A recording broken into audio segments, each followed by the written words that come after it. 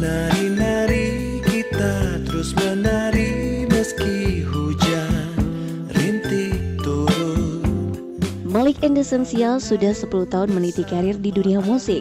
Tentu mempertahankan karir di tengah ketatnya persaingan dalam industri musik bukan perkara mudah bagi para musisi jazz ini. Apalagi Angga dan kawan-kawan tak lagi bergabung dalam mayor label seperti dulu. Mereka mengaku sempat mengalami ketakutan di mana grup band ini tak laku lagi di industri musik.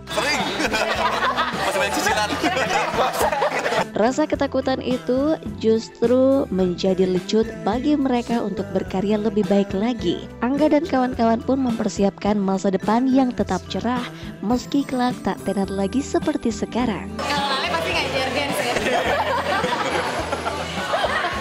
Eh, jujur, jujur aja kita nggak pernah mikir 10 tahun ke depan, kita mikir besok. Aja. Yang ada kita kerjain aja dulu.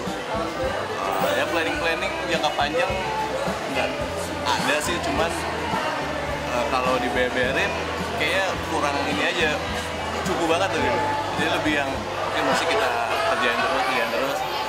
Sering kita evaluasi juga sih per tiga bulan, per enam bulan, per tahun gitu gimana gitu. Nah, alhamdulillah sampai tahun ini sih evaluasinya masih bagus alhamdulillah.